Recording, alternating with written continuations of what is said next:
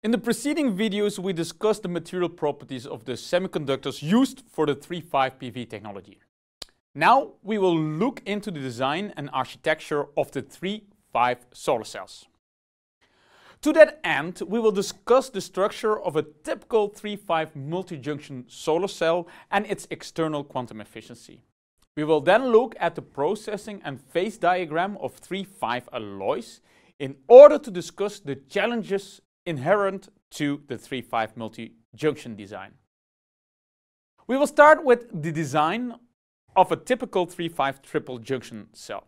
Such a triple junction device consists of three separate PN junctions or cells. As substrate, a germanium wafer is used. From this wafer, the bottom cell is created. Germanium has band gap of 0.67 electron volt. The middle cell is based on gallium arsenide with a gap of about 1.4 electron volts. The top cell is based on gallium indium phosphide with a band gap in the order of 1.86 electron volts.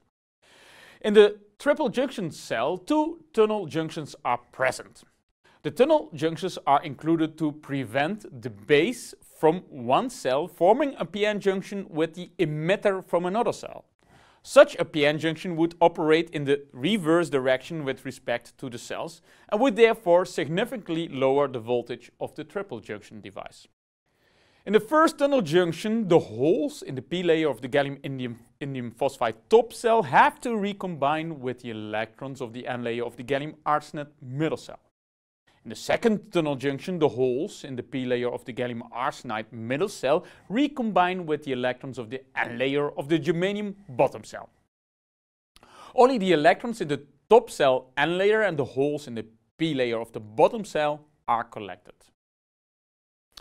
The increased output power of a multi-junction solar cell with respect to a single junction cell is therefore a combination of a higher voltage which ideally is equal to the sum of the voltages of the three junctions and a better spectral utilization.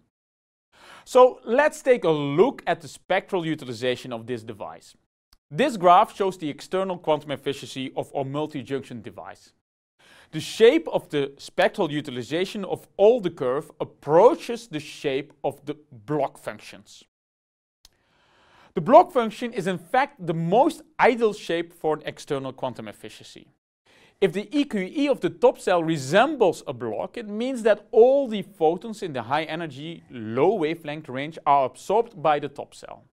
In the EQE of the middle cell would significantly overlap with the top cell, then high energy photons are absorbed by the middle cell as well. The middle cell has a lower band gap and can therefore only utilize a smaller fraction of the photon energy. Therefore, the more the EQEs of the individual cells overlap, the larger the thermalization losses will be. The block shapes of this 3-5 multi-junction device are possible because the 3-5 alloys used all have a direct band gap, which results in a very sharp band gap edges and high absorption coefficients. Only the germanium bottom cell has an indirect band gap, which results in the slope in the long wavelength region. In this device, the bottom cell generates much more current than the middle and top cells. The output current of a multi-junction device is limited by the cell that produces the lowest current. Therefore, a lot of current is lost in the bottom cell. This ineffective use of the near-infrared part can be reduced by adding an additional junction. In such a quadruple junction device, an additional cell is placed in between the middle and bottom cells of the triple junction. The spectral utilization can be even increased further by moving to multi-junction solar cell consisting of five or six junctions. However, Adding more junction in a III-V device poses serious challenges.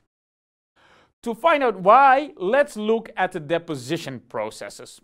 For III-V deposition, epitaxial processes are used, where crystalline layers are deposited on a crystalline substrate.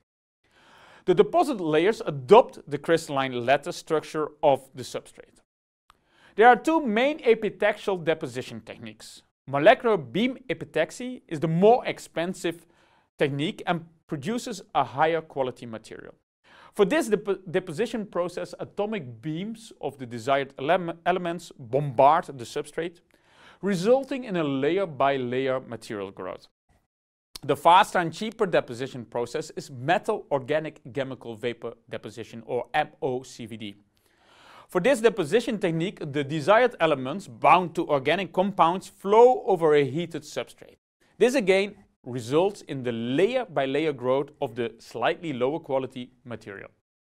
Both epitaxial processes result in a layer by layer growth. This layer by layer growth affects the structural properties of 3-5 absorbers. In the next video we will discuss how this is considered in the 3-5 multi-junction design.